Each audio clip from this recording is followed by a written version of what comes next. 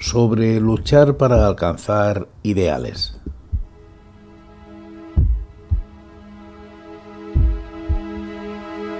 El gusano y la flor, de autor desconocido.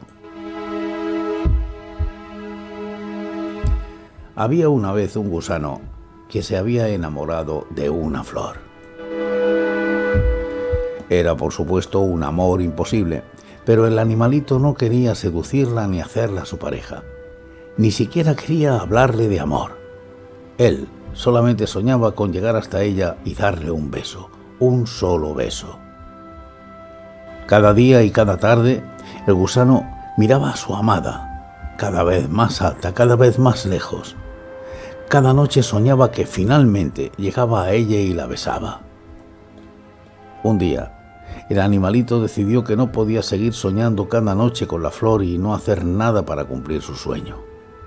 Así que, valientemente, avisó a sus amigos, los escarabajos, las hormigas y las lombrices, que treparía por el tallo para besar a la flor.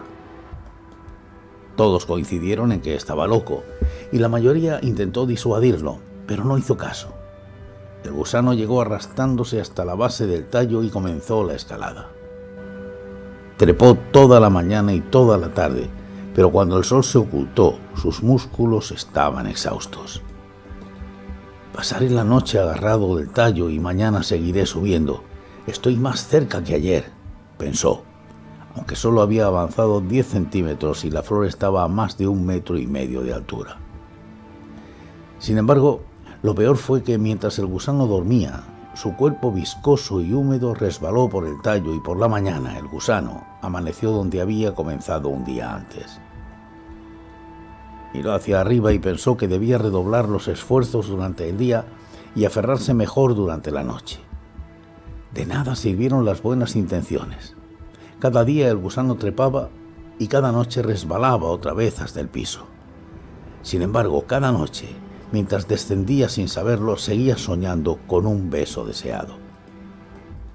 Sus amigos le pidieron que renunciara a su sueño o que soñara otra cosa, pero el gusano sostuvo con razón que no podía cambiar lo que soñaba cuando dormía y que si renunciaba a sus sueños dejaría de ser quien era.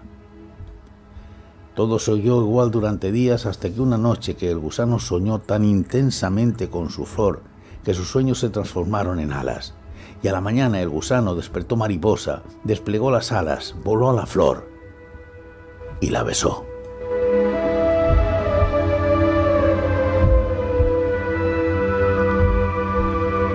Tú ya sabes, toma siempre de estos comentarios, cuentos o relatos lo que creas necesario, conveniente u oportuno. Pero hazme caso. Sé feliz.